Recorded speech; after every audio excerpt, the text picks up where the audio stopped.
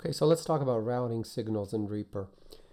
Um, Reaper is really great when it comes to when it comes to being flexible um, with respect to routing signals. Um, it's really quite um, quite intuitive and uh, powerful. So first of all, why might you want to route a signal from one place to the other? Well, a classic example would be, let's say you have two tracks, um, and you want to apply a particular effect to both tracks, but you also want uh, the, um, the the sound, uh, the dry sound, uh, the original sound, and you want to be able to control that uh, all only with one um, particular volume control. So what you could do is you could have you could create an auxiliary track, and instead of adding effects to both tracks individually, you only add the effect to that particular track. So in other words, it becomes an empty track where that only contains the, um, the effect. So in order for it to be applied, the effect is you have to take sound from this particular track or that particular track and send it to that the effects track. And then uh, in the same manner, you might have an empty track that has no effects where you can take both of these sounds, send it to that one, and now you're able to look at two individual tracks and control the amount of of uh, uh, you know if, uh, sound with effects and the amount of sound without effects. I hope that makes sense. I think once we do it, it'll be it'll be much clearer. So let's say we have these are these are our tracks. I have track number one, track number two. I have two different sound files in it. So that's what it sounds like. I don't know if you can tell. I only have weird sounding samples on my hard drive. Um, I think that says something about me. Anyway, so the first thing I'm going to do is I'm going to double click here and I'm going to create a, uh, let's say a, um, a reverb, a, a reverb uh, track. So I'll go here, I'll go to effects, I'm going to do the reverb just because I like it better. I'm going to go to add, I'm going to go to file, and I'm going to choose a different impulse this time.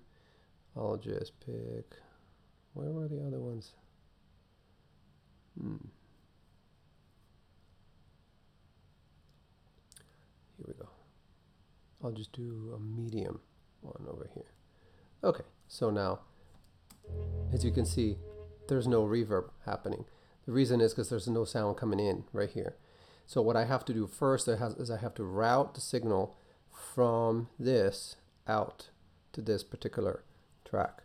So what I'm going to do is the following. I'm going to go to the I.O. settings, inputs and output settings, and I'm going to go ahead and uncheck this, the master parent send, because what this will do is will it will no matter what send this the original sound to the master fader. Um, so right now we're just going to focus on having two individual faders, one for the effects, one for for the the clean sound, and then we'll send both of those to the master fader. So we'll uncheck that and then we'll go here and where, where it says add new send, we're going to go, uh, oh wait, I forgot to do something very important. First thing I should, should have done, and I should have labeled this track. So I'm going to double click here and I'm going to call it reverb. And um, I'm going to go ahead and create another one. Well, actually, let's let's do this first. So I'll go to the up, out, and I'll go to reverb. So I'm going to add new send reverb. So what I'm doing now is I'm sending this track to the reverb. And you can also determine just how much you're sending, and we can automate this, and we'll, we can we'll talk about that later. Uh, but basically, what's happening now is this track is not this, there's no sound coming out of this track uh, ex, uh, except for the um, for um, for for the fact that it's going into the reverb track. So at this point, if I mute this or uh, if I mute this track right here, there's still nothing. As you can see, there's sound coming out of here, but because this track is not actually going out to any other track, it's only coming out in this in, uh, right here. But if I unmute this, and even if I mute this one now, now what's happening is the the the the first take, the first track is going out to the reverb, and so automatically, when you uh, create a send in a track, it'll create a receive in the other one. So if you go here, you'll see that it's automatically receiving from the track called Bella One Arms. So, well, maybe I'll do this. I'll, I'll rename these tracks. I'll call this track one. And I'll call this one track two, just to clarify. All right, so just to recapitulate, I have track one. I went in and I, um, I have two tracks. I have track one and track two. I have an additional track that I call reverb. It's an empty track, except for the fact that it has reverb um, attached to it and uh, applied to it. Then in order to get sound to the reverb, I went to track one, to the I.O. settings, and I said, I unchecked the master parent send, and I went to add new send, and I and I chose reverb from the, the list. And automatically that created a receive in a reverb track called track one, which makes sense because so the sound is coming from track one into the reverb. And so there, that's where that is. And of course here I'm going to leave this check because I do want the sound from the reverb to go to the master.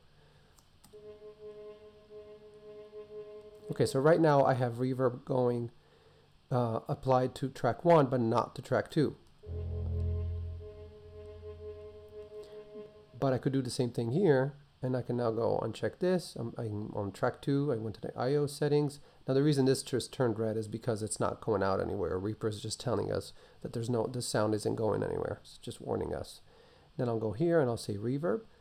And so what I just did now is I just saved a whole bunch of extra extra work because I have a reverb setting that I can then manipulate and I can change all at once. So if I have, let's say, 20 tracks and I want to have the same exact type of reverb on all of those tracks, rather than having reverb applied to each individual track. And let's say that I kind of mess up the setting or I decide to change the setting of the reverb.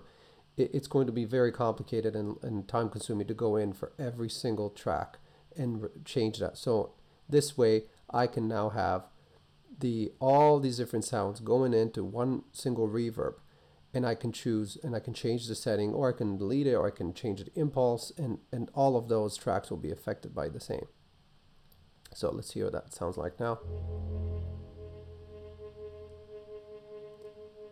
Right, you can hear that there's reverb because it's when I stop it, it continues on.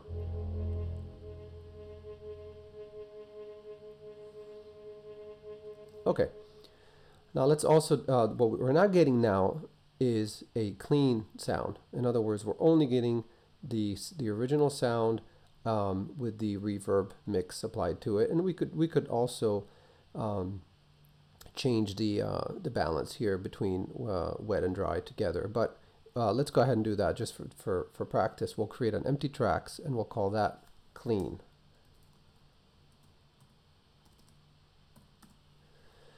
And what we're going to do here is uh, we're just going to send the clean sound into it. So in other words, we're not going to apply anything to this. We're just going to say uh, add new send to clean. So now what's happening is my sound from track one is going both equally to reverb one and to clean. And I can I can choose how much sound is going out, by the way.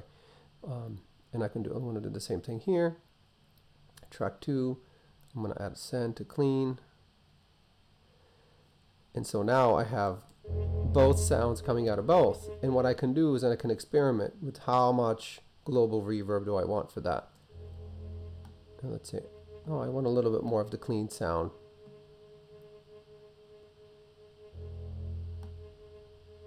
Oh, I want more reverb. Right? And basically what this is controlling is both of these um, basically the overall volume of both of these tracks. Because remember, both of these are going into the reverb and both of these are going to the clean. So I have these two reverbed, these two clean, and I can control the individual ones. And then of course, when I go to my mixer, I am now controlling here the overall volume of all of these together, both of these in combination. So this is why we were we were kind of leaving this alone for the end, because this is my overall global volume. So this is kind of the final stage.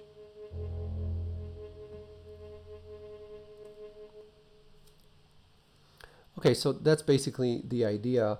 Um, um, in the next video, I'll do something maybe a little bit more complicated. Maybe I'll add some pitch shifting or something. And uh, just to kind of see how we can manage that. And then I'm also going to talk about automation either in the next video or on the following one.